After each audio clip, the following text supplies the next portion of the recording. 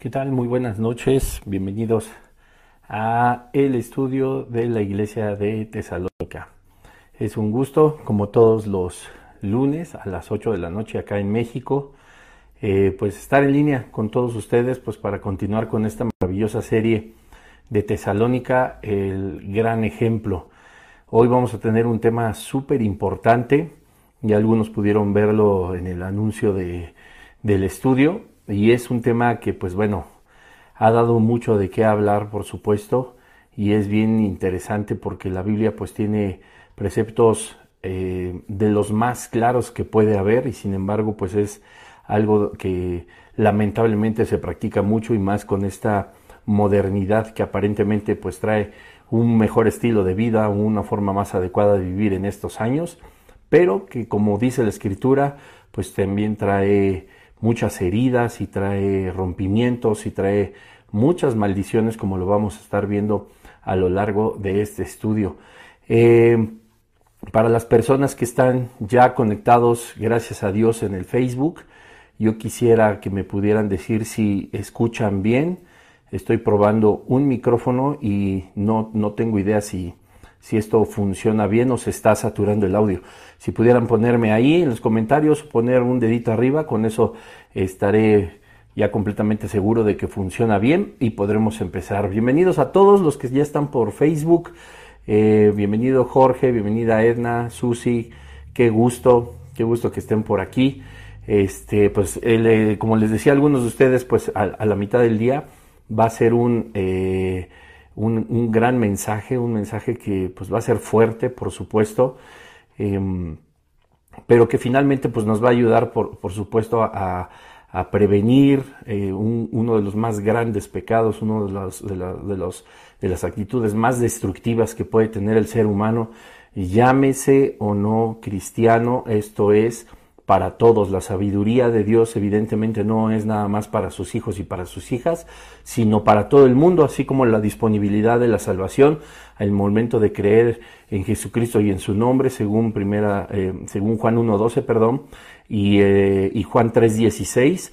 Esto es pues para todo el mundo, está disponible la salvación, la vida eterna, pero por sobre todas las cosas, pues también está toda la guía, la sabiduría, la inteligencia que podemos adquirir a través de las escrituras.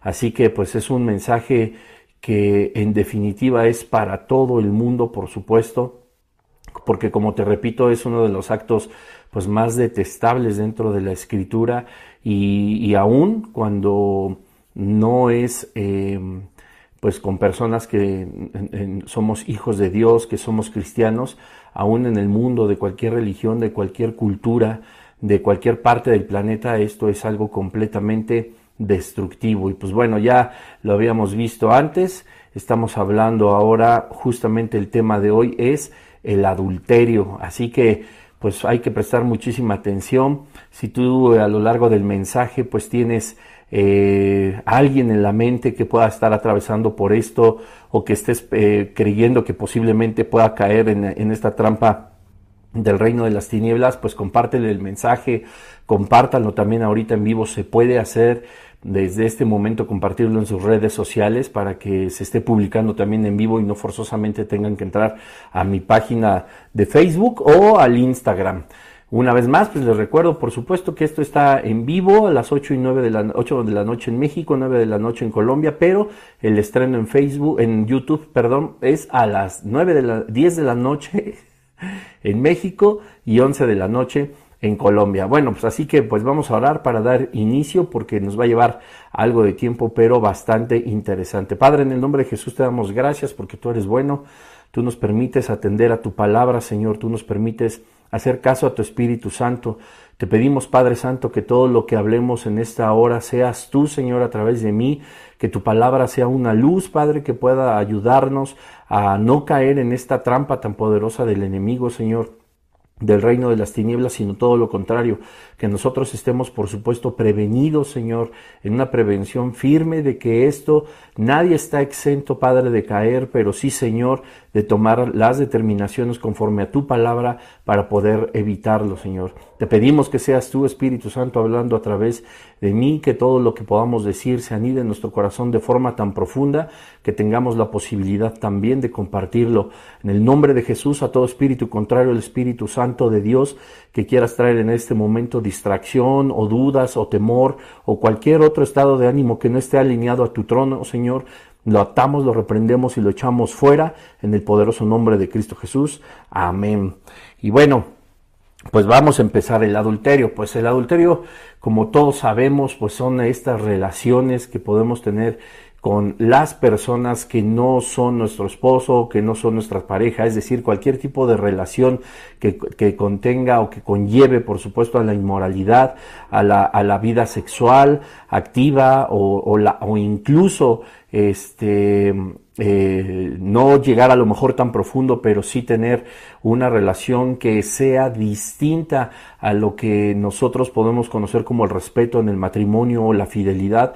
Todo eso es lo que denominamos como adulterio. Todo aquello que fuera del matrimonio está manchándolo, está corrompiéndolo, está dañando el pacto que ha sido declarado por el Señor y ha sido bendecido, bendecido en la unión de una pareja. Es evidente y sobra decirlo, pero también no está de más mencionarlo entre una pareja casada que sea hombre y mujer, ¿verdad? Porque todo lo demás, todos los, demás, la, modernidad que se ha establecido dentro de un matrimonio con personas del mismo sexo o con personas y cosas, personas y, objetos, personas y animales o ya no sé cuánta eh, eh, eh, tan, tan retorcido está muchas veces ya el entendimiento del ser humano que hace cosas de verdad abominables delante de los ojos de Dios y que para las personas, pues como nosotros, como sus hijos, pues también tienen o merecen como ese tipo de desprecio, puesto que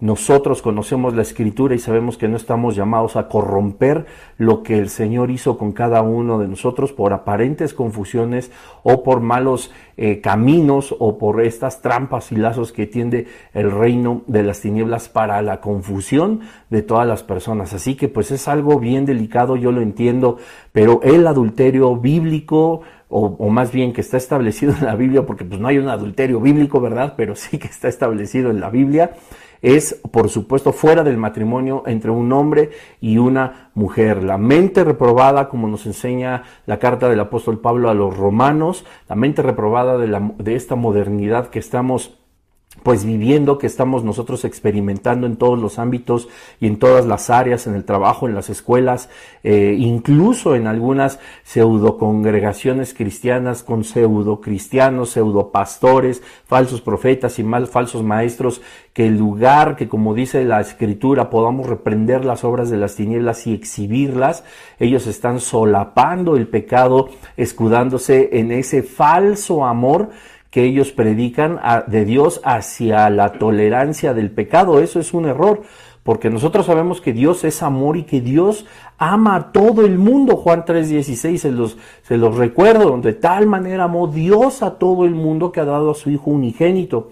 Para todos aquellos que en Él crean sean salvos y no se pierdan en una condenación eterna. Eso es lo que dice Juan 3:16. Sin embargo, la escritura a nosotros también nos enseña que a pesar de que, el amor de Dios es para todo el mundo, pero el odio por el pecado es inherente al Señor y puede el Señor, por supuesto, amar a estas personas. Jesús murió también por todos aquellos que se arrepintieran de su promiscuidad, que se convirtieran de sus malos caminos, de su mente retorcida y, por supuesto, puede perdonarlos a través de un genuino arrepentimiento y la recepción de Jesucristo como nuestro único Señor y Salvador. Pero eso no implica que tenga que solapar y tolerar la práctica pecaminosa que hay por todos lados, como te decía hace un momento, de este pecado, de esta impureza sexual, de esta confusión que ha traído Satanás al mundo. Pero bueno, nosotros, gracias a Dios, contamos con la presencia del Padre, con la presencia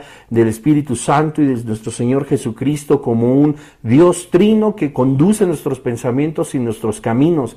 Pero es importante, por supuesto, pues tener el conocimiento bíblico, pues para que nosotros podamos andar sobre las pisadas de Jesucristo. El adulterio es un pecado tan grave que se ha infiltrado de una manera muy importante dentro de las congregaciones cristianas y he de decirlo, no solamente de oídas, sino porque me ha constado que incluso pastores, líderes espirituales, con muchos años en el ministerio, donde aparentemente su vida consagrada al Señor era algo completamente sólido y, edificado en, en la roca que es Jesucristo, pues han caído. Y no solamente algunos que hayan caído, sino hay algunos que incluso se les hizo práctica. No fue una, no fueron dos, fueron tres veces, etcétera, etcétera. Líderes, por supuesto, que traen una doble vida y en lo oculto están manipulando a las personas, tanto hombres como mujeres, pues para satisfacer estos deseos de la carne que según Gálatas 5 son obras que traen a luz al pecado, la inmundicia, la lascivia, la lascivia, perdón, la lujuria, todo esto que es de un carácter eh, eh, sexual, que es atraído por, como, como también Santiago dice, por esa, esta propia concupiscencia que tenemos nosotros y que nos seduce de tal manera que caemos en el pecado. Es verdad que muchas personas caen o podemos llegar a caer, pero sin darnos a lo mejor cuenta, como en algunos otros eh, eh, eh, pecados, nos hemos distraído, nos hemos, como decimos en México, dormido en nuestros laureles, y aunque verdaderamente eso no es una justificación para que no se nos tome en cuenta como un pecado, pues, puesto que eso sería imposible, sí es algo que nos, nos tiene que hacer a nosotros madurar. Ninguno de nosotros estamos libres de cualquier pecado. Por supuesto que estamos nosotros en el borde en este mundo que está tan lleno ya de falsas doctrinas y de filosofías extrañas y de comportamientos completamente contra, contrarios a la palabra de Dios, que podemos ser entenebrecidos, enseguecidos, ensordecidos o mudos incluso para que nosotros a través de la práctica de malos pensamientos, de malas amistades, podamos eh, incluso llegar a caer en un pecado tan grave como el adulterio.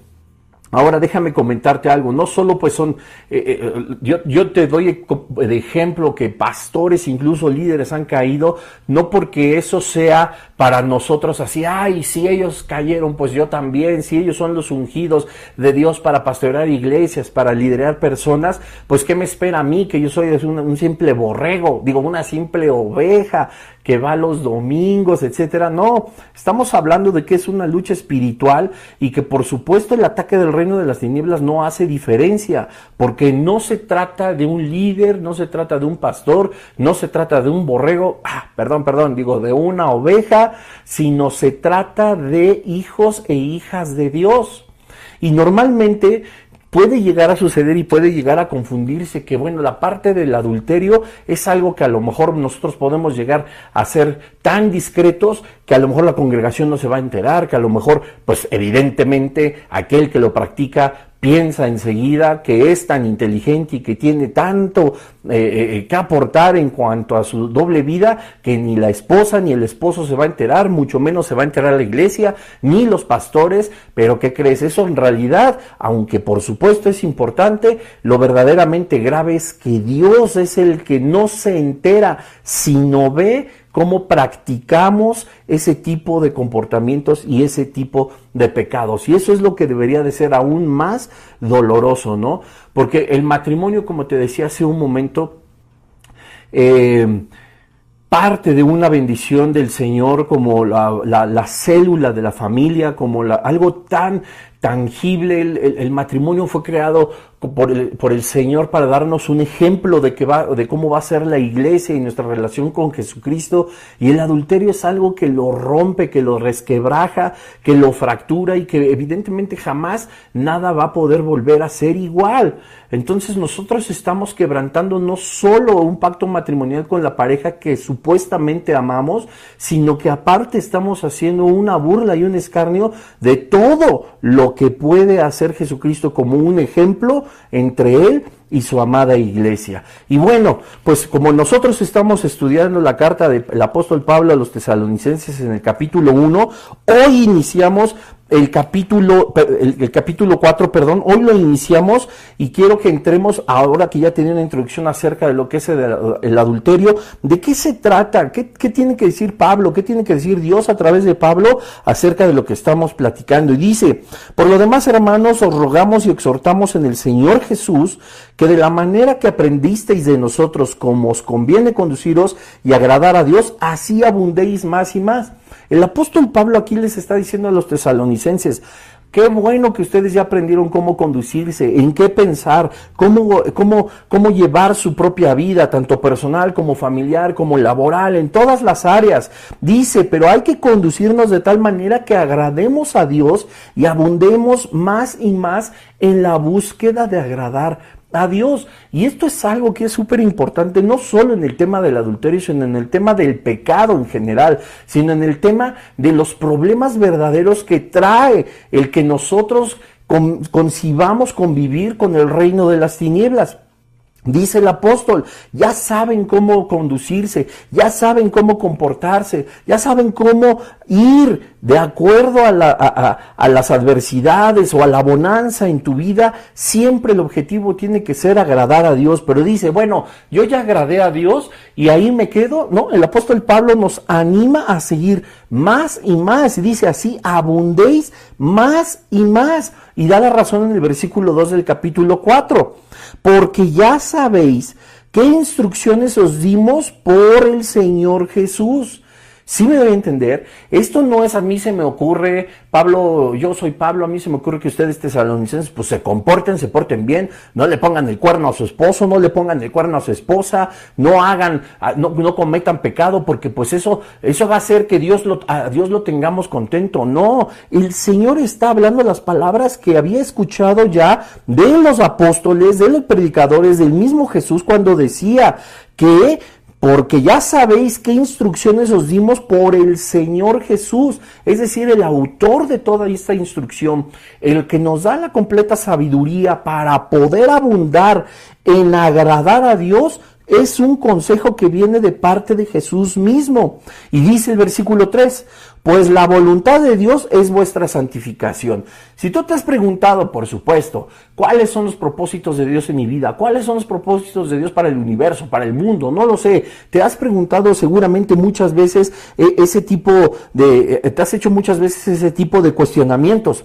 Pero mira cómo tenemos una respuesta de las más contundentes en toda la escritura. Dice, la voluntad de Dios, es decir, dentro de su propósito, es que nosotros encontremos la santificación y que os apartéis de fornicación. Que cada uno de vosotros sepa tener su propia esposa en santidad y honor, no en pasión de concupiscencia como los gentiles que no conocen a Dios. Vean qué cosa tan importante, o sea, una de tantas partes del propósito de Dios en cuanto a su voluntad es que nosotros hallemos santificación. Y me regreso dos versículos antes, conducirnos de tal forma que agrademos a Dios y no estancarnos ahí, sino abundar más y más y más para poder seguir agradando al Señor consejo de Jesucristo mismo que, es, que redacta el apóstol Pablo a los tesalonicenses. Y dice, pues esa es la voluntad de Dios, señoras y señores. Esa es su voluntad que busquemos la santificación y no hay manera diferente a buscar la santificación que estar los días, como dice eh, eh, Josué 1.8, meditando de día y de noche en las palabras de este libro, que siempre las palabras de este libro estén en nuestra boca, es decir, estar hablando Biblia, estar hablando bendición, estar hablando enseñanza, compartir la palabra, estudiarla, puesto que cuando la estudiamos, como temas como el que estamos viendo hoy, no, por supuesto, no es que, que Bruno lo comparta, que tu pastor lo comparta, que tu líder lo comparta y que ellos estén guardados de, toda, en todo, de todo pecado y tengan el derecho de apuntarte con el dedo y decirte, si tú eres adúltero va a pasar esto, si estás adulterando te va a suceder esto, etcétera, etcétera. No, estamos hablando de que todos nosotros debemos de estudiar de tal forma la escritura que nosotros seamos los primeros en ser impactados y transformados a través de ella para después compartir la palabra. Hay muchos predicadores eh, maestros de la palabra que siempre han dicho, ¿no? Debemos vivir lo que predicamos. Y yo incluso a mi familia, yo se los he comentado, se lo he dicho a mi esposa, es importante vivir lo que predicamos. Y a veces uno dice, bueno, pues qué padre predicar la palabra de Dios, yo quisiera ser como mi pastor, como este gran predicador que, que transforma la vida de personas a través de la palabra de Dios, Dios lo usa con gran poder, etcétera, etcétera, ¿no? Todo es para la gloria y la, la, la honra del nombre de Jesucristo. Sí, qué padre, pero también es verdad que cada cosa que el Señor tiene que decirle a cada, maestro de la palabra, primero habla por supuesto a su vida y lo confronta para poder después predicar lo que se ha dicho. ¿Cómo alguien puede predicar de la pureza en el matrimonio si es adúltero. ¿Cómo alguien puede, se puede atrever a predicar a través eh, de, las redes sociales o en los lugares de reunión del adulterio sabiendo que tiene una doble vida? Eso es lo que en el Nuevo Testamento Jesucristo llamó falsos profetas.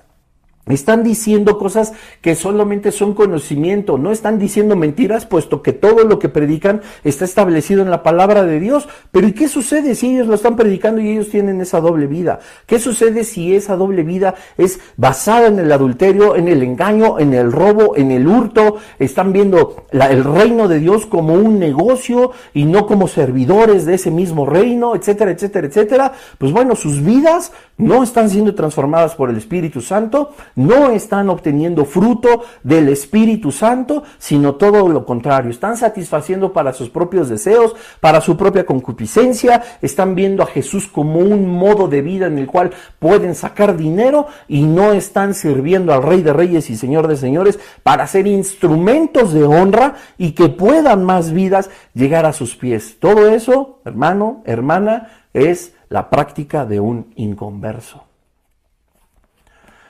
Y no porque sepa de qué se trata el adulterio, quiere decir que va a ser salvo.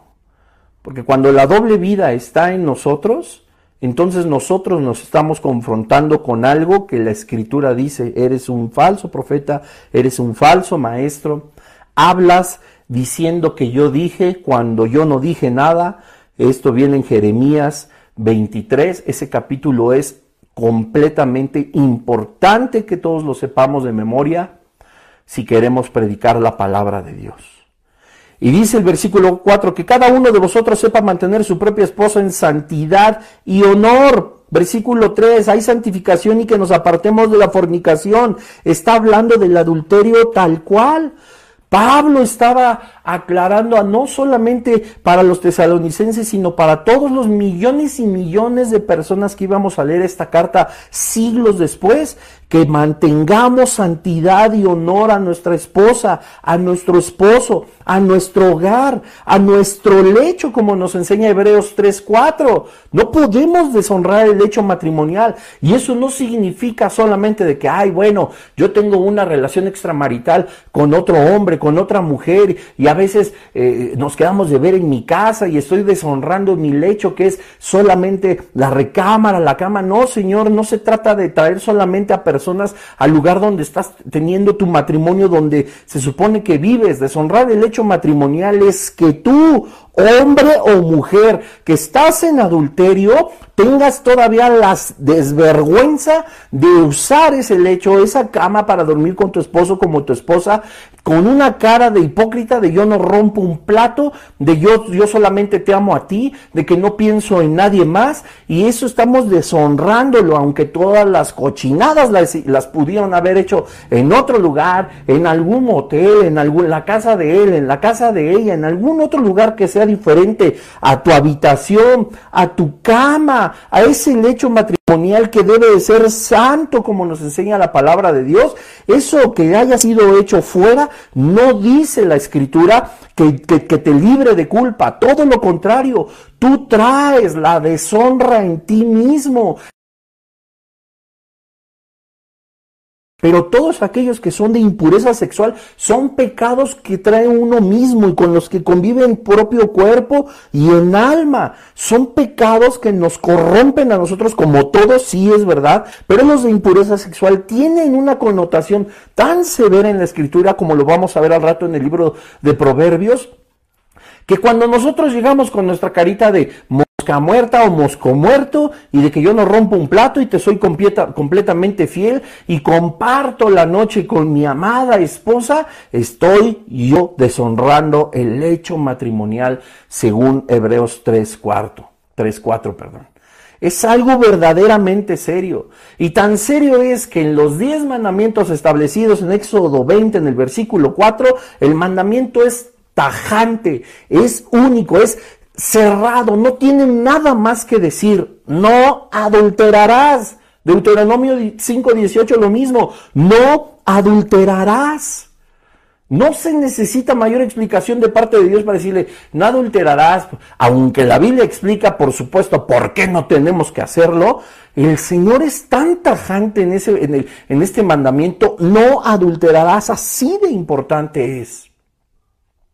Ahora el adulterio refleja simple y sencillamente una actitud completamente egoísta de quien lo practica.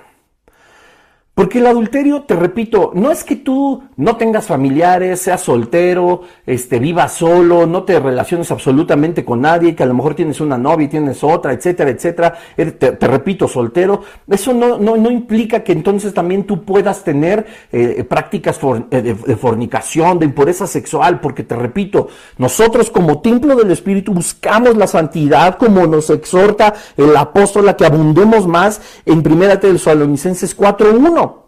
Sin embargo, aquel que ya practica el adulterio, que tiene esposo y esposa, se lleva a todos entre las patas.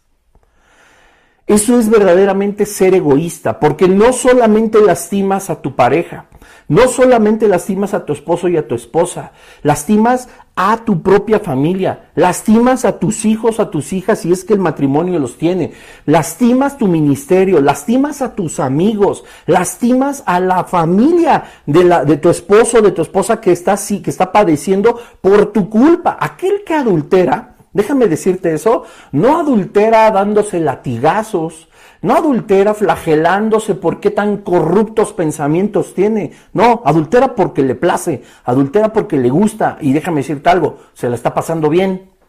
No tiene ningún remordimiento. Por supuesto que no lo tiene en ese momento. Eso es ser verdaderamente egoísta.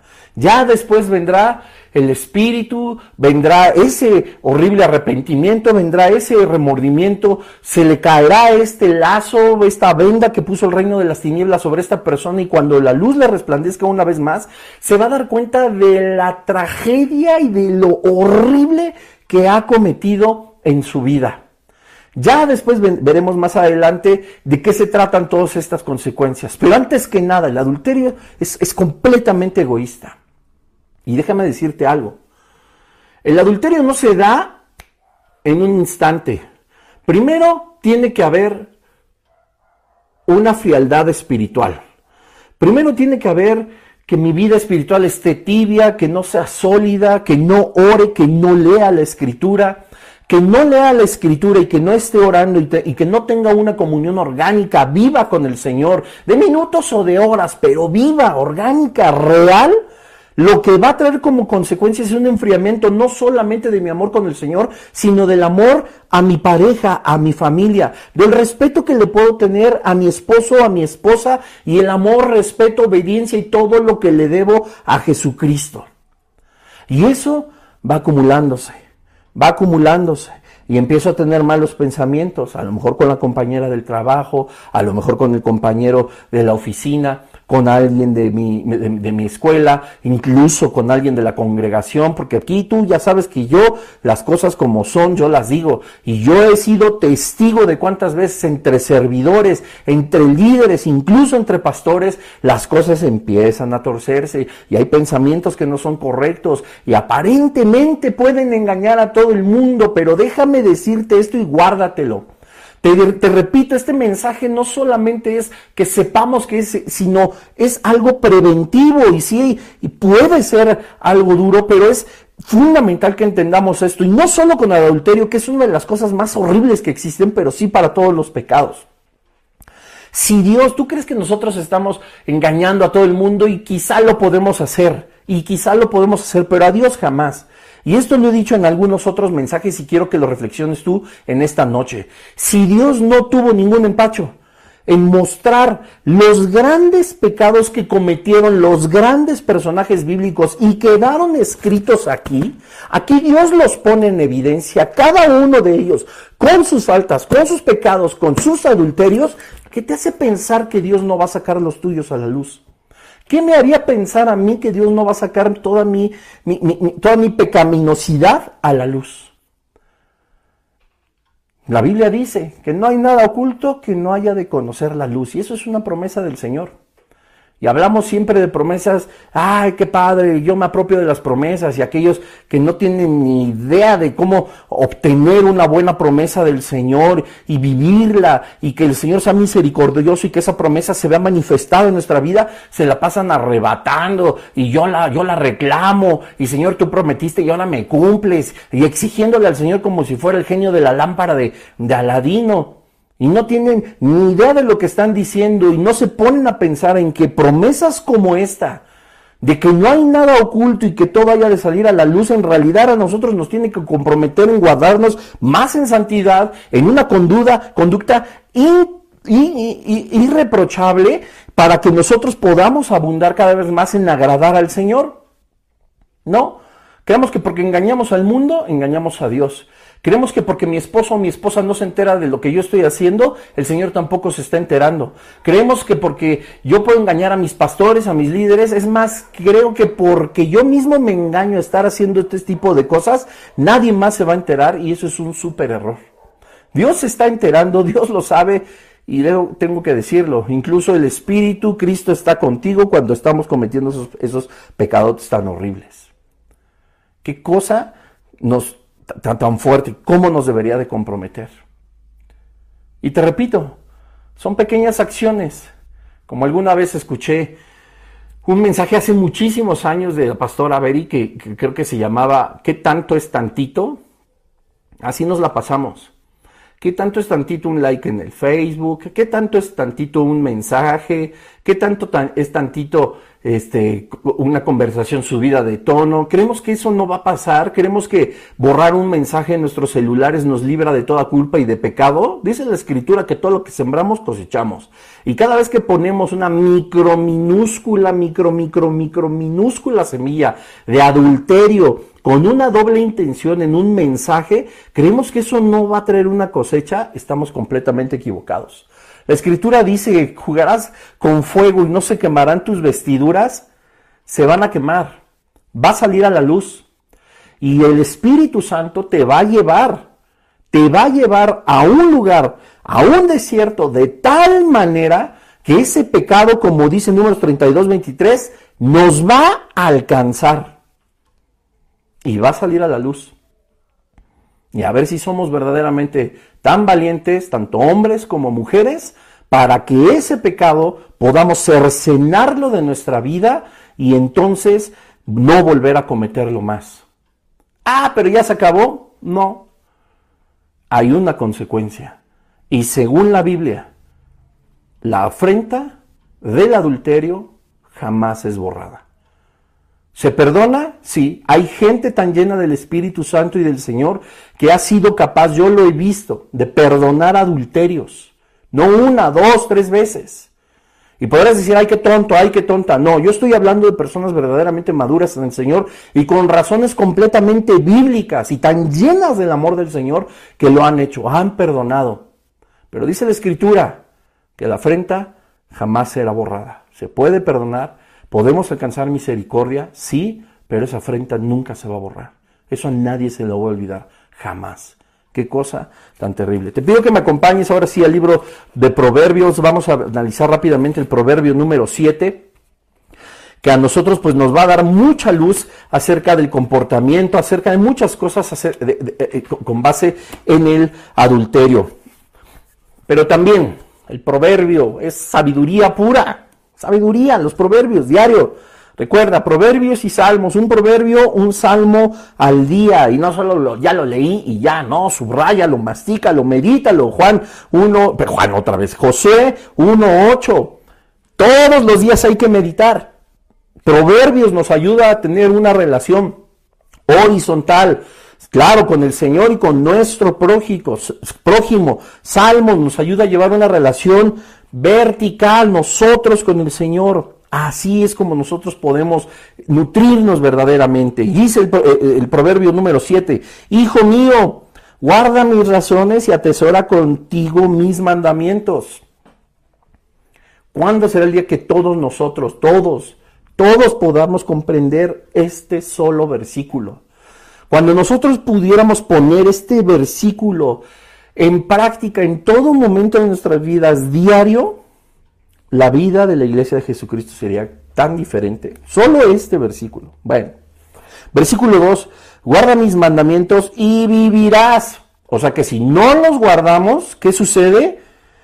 Dice la escritura en Romanos, la paga del pecado es la muerte. Guarda mis mandamientos y vivirás, y mi ley como las niñas de tus ojos. Número 3, Lígalos a tus dedos, escríbelos en la tabla de tu corazón. ¿Cuántos dedos tenemos? ¿Cuántos mandamientos hay? Diez. Si quieres, puedes echarte un clavado a mi página de YouTube, a mi perfil de YouTube. Tengo una serie de los diez mandamientos y estoy orando porque empiezo a sentir la dirección de Dios de, volver a retomar esa serie y compartirla una vez más con toda la iglesia de Jesucristo. Vamos a ver qué dice el Señor, pero mientras tanto, llévate ahí un tiempo al, al YouTube, a mi perfil, y ahí vas a encontrar la serie de los 10 mandamientos, si te atreves.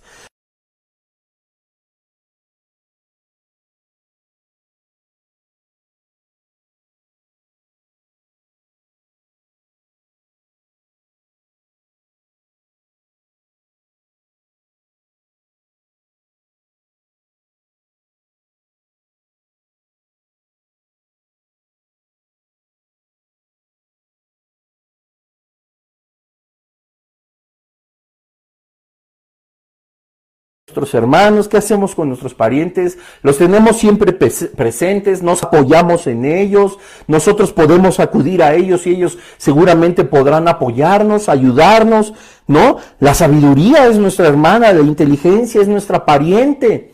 Nosotros podemos apoyarnos en la sabiduría, en la inteligencia, pero no en la que yo tengo de que me ha generado la experiencia, el mundo, los consejos de los amigos, mis tantas experiencias de éxito y fracaso, mi montaña rusa en cuanto a emociones. No, estamos hablando de la que proviene de lo alto, de Dios. Y ojo aquí, ¿para qué? Bueno, ¿y para qué? Este proverbio es una maravilla. Versículo 5, para que te guarden de la mujer ajena y de la extraña que ablanda sus palabras. Ahora, ojo, cuando el libro de Proverbios habla de la extraña, de la mujer ajena, no se refiere de acá. Me tengo que guardar de las mujeres porque solo las mujeres son las que eh, me hacen caer para cometer adulterio. No, Señor. La Biblia ahora que está tan de moda el, ser incluyente, no te puedes excluir. No solamente habla de la mujer ajena, también habla del hombre ajeno, ni de la extraña que ablanda con sus palabras, también del cretino que ablanda con sus palabras. Aguas, esto es para ambos. La mujer no comete adulterio y el hombre no. El hombre no comete adulterio y la mujer sí o viceversa. Creo que dije lo mismo, pero ya me entendieron. Esto es para ambos. Versículo 6 y ve la historia que nos maneja aquí la escritura. Dice, porque mirando yo por la ventana de mi casa, por mi celosía, vi entre los simples, consideré entre los jóvenes a un joven falto de entendimiento. Primero, falto de entendimiento. ¿Qué cosa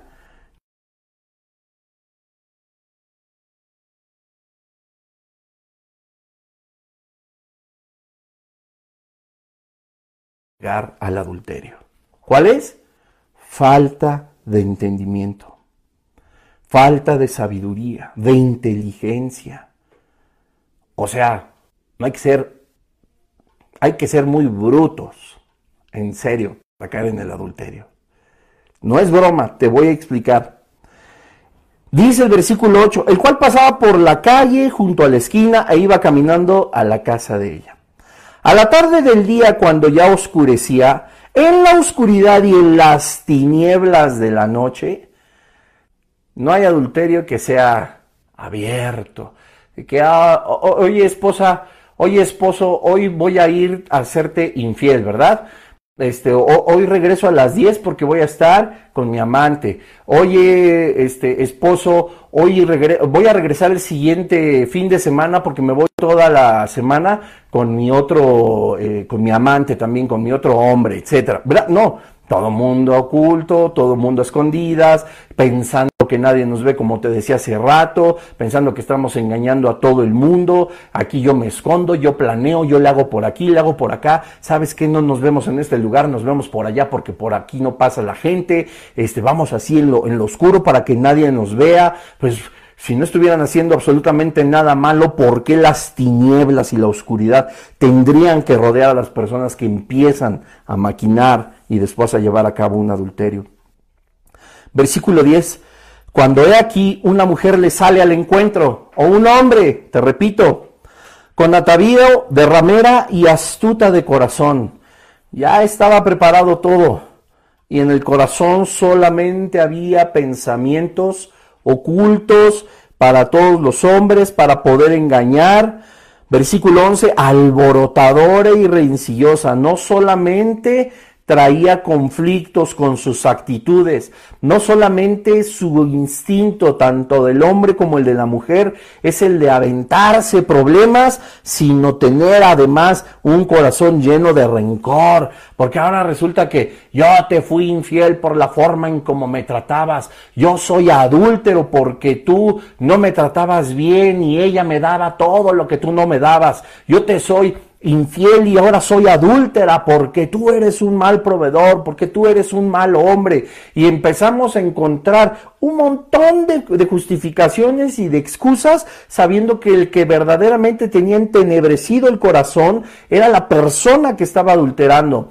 Paréntesis, esto no es una justificante para que tanto hombres como mujeres den pie a que las parejas puedan allegarse a otra persona, tanto hombre como mujer, por todo lo que carecen quizá en su matrimonio. Pero esto tampoco es para que nosotros, nosotros tengamos la posibilidad de decir, bueno, yo tengo motivos para hacerte infiel. Tengo motivos para ponerte el cuerno. Tengo motivos para irme con otra mujer, con otro hombre, con diez hombres, con diez mujeres. Porque en mi casa las cosas no funcionaron. Porque en mi casa se acabó la chispa. Porque mi mujer me trata mal. Porque mi, mi varón no me provee. Porque etcétera, etcétera. Todos, todos son justificaciones, son excusas, son pretextos.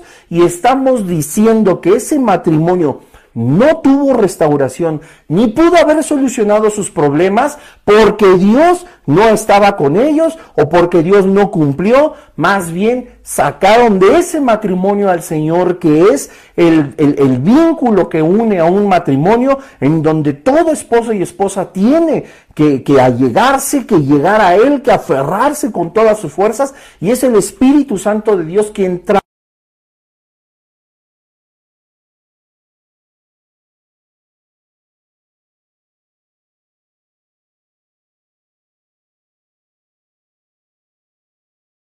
personas, a cada quien, nosotros somos responsables, sí, de nuestro matrimonio, pero el maquinar un adulterio como te decía hace un momento, con pequeños pasos que parecen imperceptibles y que creemos que hasta con darles borrar se van a eliminar de nuestro corazón, de nuestra mente, eso es más responsabilidad de las personas que están abriendo la puerta al reino de las tinieblas, al infierno mismo, que es el que puede llevarnos a cometer un adulterio, que tanto la situación que puede suceder en nuestro hogar.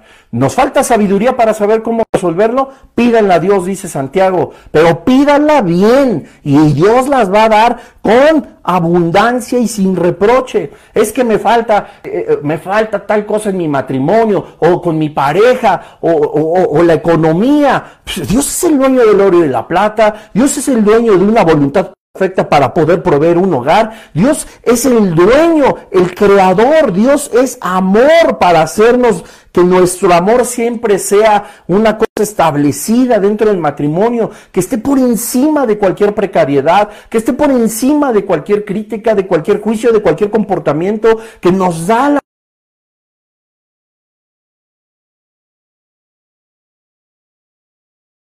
vida con respecto a mi matrimonio. Ayúdame a cambiar, ayúdame a ser una mejor mujer, una mejor persona. Podemos acudir al Señor de tal manera que Él puede quitar toda, toda la hiedra, toda la cizaña de un hermoso matrimonio que puede germinar y crecer como el trigo. Dios lo puede hacer todos los elementos que tú me quieras decir que pueden ser una justificante de lo que sucede en mi hogar y por eso adulteré, eso se llama cobardía y eso fue habernos alejado de la presencia del Señor y como te decía en un inicio, es completamente mezquino y egoísta.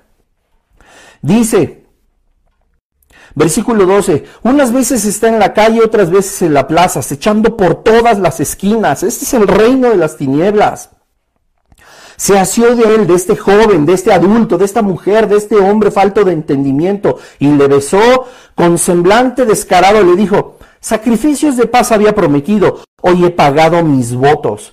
O sea, yo ya pequé, yo ya hice mis, mis mandas, yo ya juré, yo ya di dinero a las limosnas, yo ya, etcétera, etcétera. Yo ya hice todo lo que tenía que hacer para tranquilizar mi conciencia y para que a ese Dios al cual se supone que yo pertenezco lo deje satisfecho. Ya cubrí la cuota de mis faltas. Ahorita estoy limpia, ahorita estoy limpio, ahora sí, vamos a pecar. Yo ya lo que pagué, lo que debía, ya lo pagué borró mi cuenta nueva, me he hecho otro pecadote y ya después pagaré también para mi redención, ¿verdad? Qué cosa tan descarada, porque dice el versículo 13, se asió de él y le besó con semblante descarado.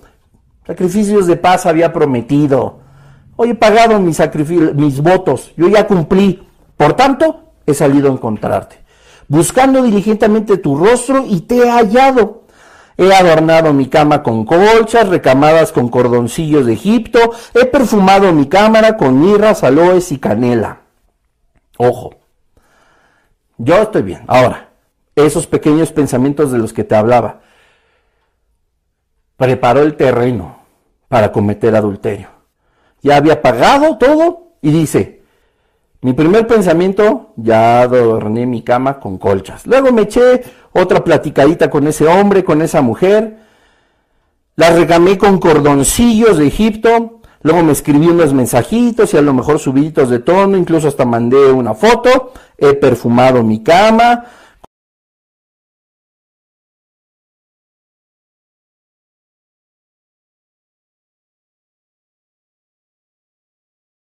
Maquinando y luego llega el mensaje, la llamada, el encuentro ahí, raro, ven, embriaguémonos de amores hasta la mañana, alegrémonos en amores, o sea, vamos a cometer adulterio, vamos a cenar, vamos a dormir juntos, vamos a ser infieles, porque mi marido no se va a dar cuenta, porque mi esposa no se va a dar cuenta, se ha ido a un largo viaje, mi esposa está encerrada en la casa, ay, mi marido está encerrado en el trabajo, se fue de viaje de negocios, eh, etcétera, etcétera, todo el mundo ocupado, no está, vamos a aprovechar.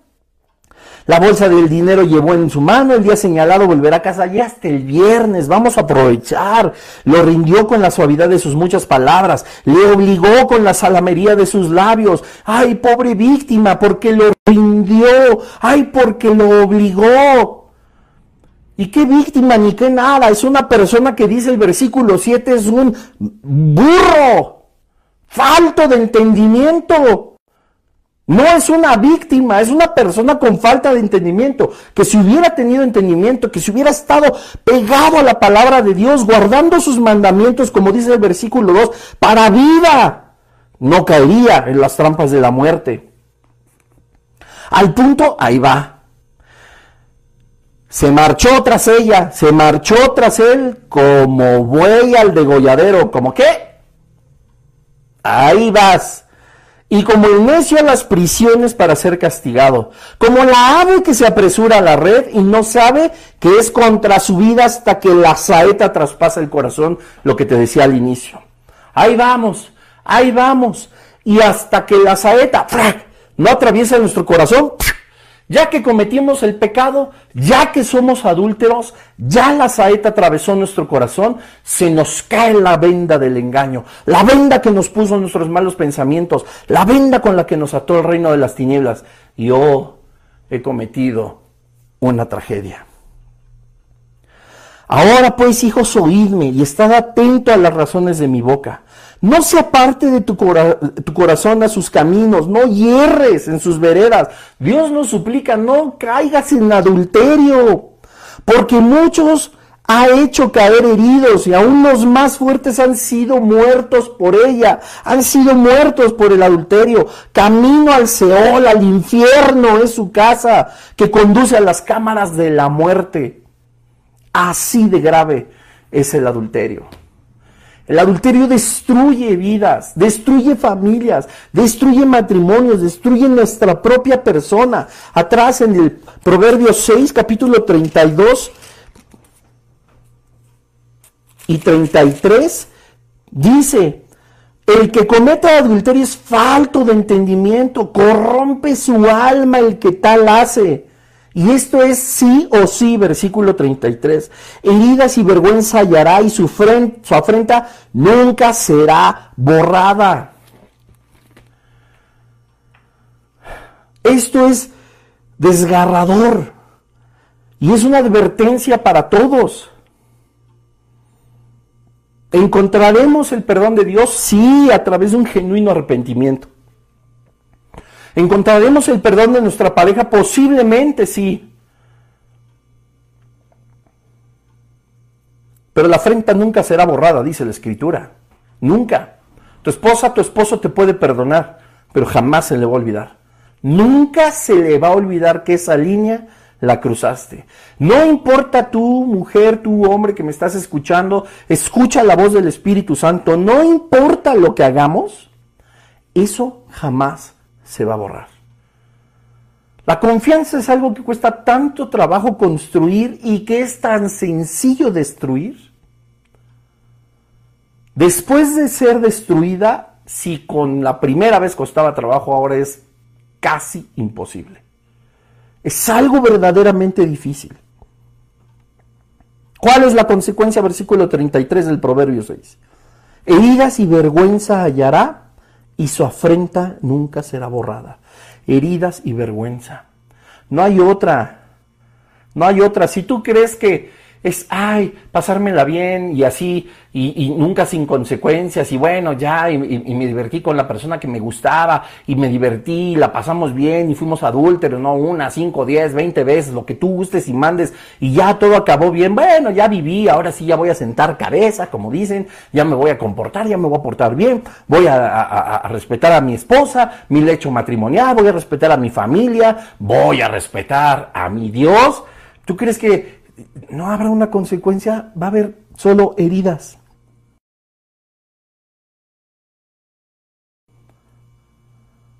Porque ahora eres un adúltero, eres una adúltera. Sí, el Señor ya te perdonó, también tu pareja. Sí, enderezaste el camino con la ayuda del Padre, sí, todo marcha bien, 10, 15, 20, 30, 40 años. pero fuiste adúltero, fuiste adúltera. No hay forma de que eso se borre. Mateo 5, 27, 28. Con esto terminamos.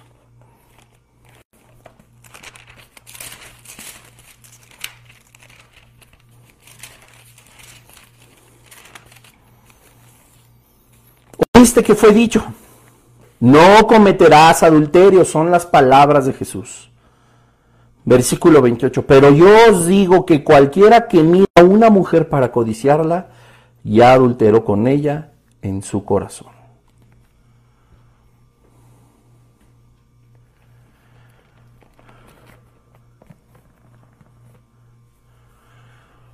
No es la situación de tu matrimonio, no es la situación con tu esposa, no es la situación con tu esposo, no es su carácter, de, el de él, el de ella, no es todo lo que tú me quieras decir. La verdadera raíz del adulterio, la culpa del, del adulterio es de las personas con un corazón caído delante del Señor. Esa es la verdadera razón. Porque un corazón que no está caído delante del Señor supera absolutamente todo. Puesto que la Escritura nos enseña que al ser bendecido un matrimonio es Dios mismo, Jesucristo mismo, el Espíritu Santo, su consejo, el que nos saca adelante. No es toda la situación la que te lleva a adulterar, todo lo que rodea. Es la determinación que has tomado con un corazón caído delante del Señor. Pero gracias a Dios que este tipo de mensajes, que la escritura, como el Proverbio 6, el Proverbio 7, Mateo 5, etcétera, etcétera, Hebreos 13, nos dan a nosotros una clara advertencia de lo que es, de cómo se manifiesta y de lo que va a suceder si determinamos nosotros pecar. Pudo haber aparentes razones por las cuales se determinó llegar al adulterio. Pero finalmente, cuando estemos delante del tribunal de Cristo,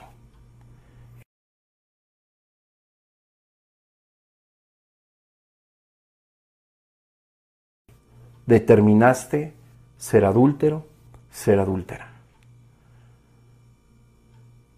Pero Señor Jesús, es que mi esposa, Señor Jesús, es que mi esposo. Tú pudiste en todo momento decir no y buscarme para hallar una solución.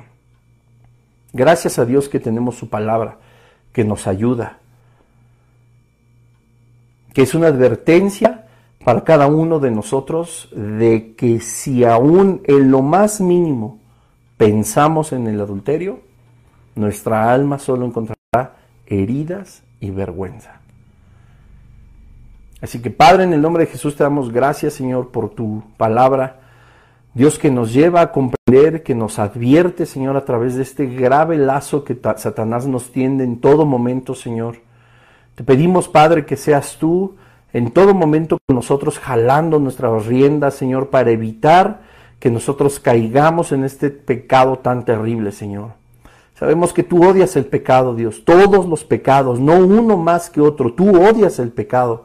Pero Dios también entendemos a través de la escritura, a través del estudio de tu palabra, que el adulterio, Señor, es algo tan desgarrador, tan, Señor, tan horrible, Padre, que no solamente nuestra alma encuentra vergüenzas y heridas, sino, Señor, lastima a todas las personas que nos rodean. Dios, en el nombre de Jesús te pedimos que tú nos guardes de toda tentación, Señor, que nos ayudes, Padre, a que nuestra mente esté llena de tu palabra, de tu sabiduría, de que verdaderamente podamos hacer lo que dice el Proverbio 7.2, que lo guardemos en lo más profundo de nuestro corazón, que los atemos a nuestros, a nuestros diez dedos, tus diez mandamientos, Señor, para que podamos meditar de día y de noche en tu palabra y así nuestros corazones no estén caídos delante de ti, sino fervientes en alabanza, en agradecimiento, en adoración, pero por sobre todas las cosas en amor y en obediencia a ti. Padre, en el nombre de Jesús te damos gracias porque, Señor, tú nos adviertes en todo momento. que los pecados, Señor, solamente traen a nuestra vida lo que nosotros no deseamos.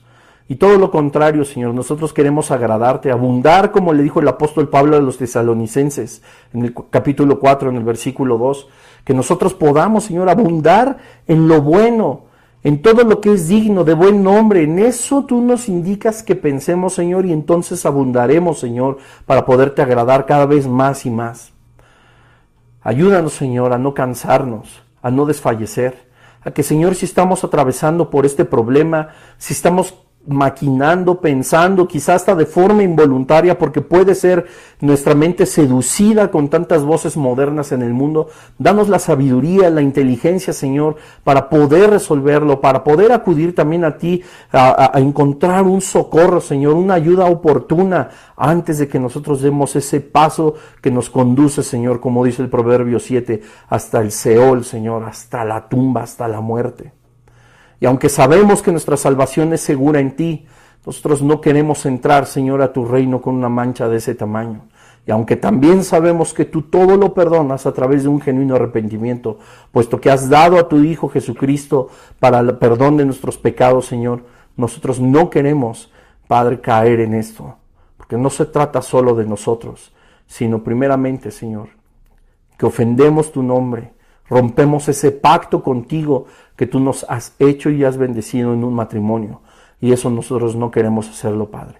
Ayúdanos, Señor, a resistir, a ser fuertes, pero sobre todo a ser sabios e inteligentes. A ser prudentes, Señor, a través del estudio de tu palabra y no por nuestra experiencia, ni por nuestra inmadurez o inmadurez, Señor.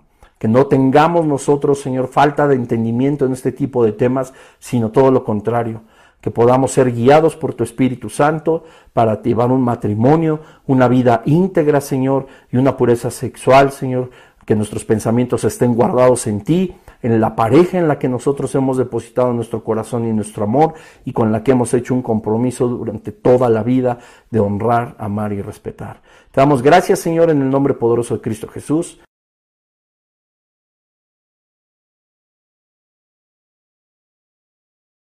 Capítulo 4 de Primera de Tesalonicenses. Ya nos vamos acercando hacia el final. Y bueno, que Dios les bendiga a cada uno de ustedes, que tengan una muy bonita noche y nos vemos la siguiente semana. Dios les bendiga.